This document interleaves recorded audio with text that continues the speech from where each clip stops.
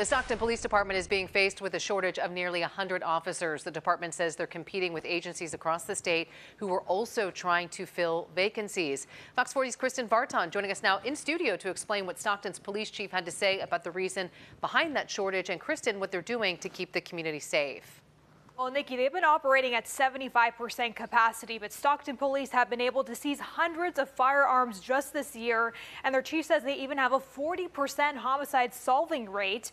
But with 28 year to date homicides in the city compared to 24 last year in the same time frame, they're hoping to get more hands on deck and soon it's not very appealing to become an officer these days. It's the reality these days of wearing the badge. You know, they feel there's other professions they can go into where they're not constantly being second guessed about the choices they make, you know, the split second decisions that um, are, are just peeled apart. It's one of the reasons why Stockton Police Chief Stanley McFadden says they are short staffed by more than 100 officers. The men and women in this department are very passionate about what they do and they're leaning together. Of course, are working hard. Right now, Stockton has 365 sworn in officers out of 485. You know, the goal is absolutely to try to uh, to recruit from inside of Stockton, but the pool is small and we're competing with other agencies. Especially, McFadden says, in bigger cities. But he's hoping opportunities for advancement and chances to work on more task forces in Stockton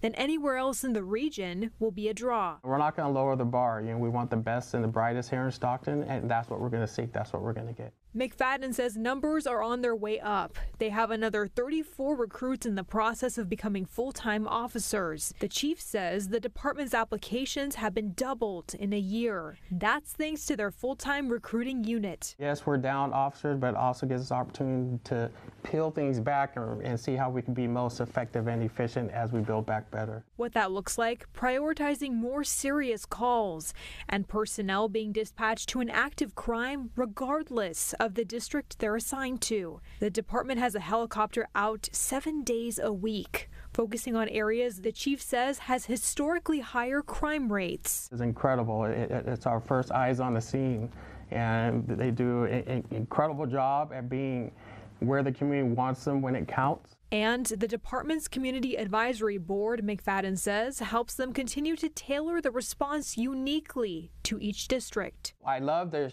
the sharing of responsibility of policing that is understood in this town, and um, I thrive off of that. And you know that's what's important that we co-produce public safety.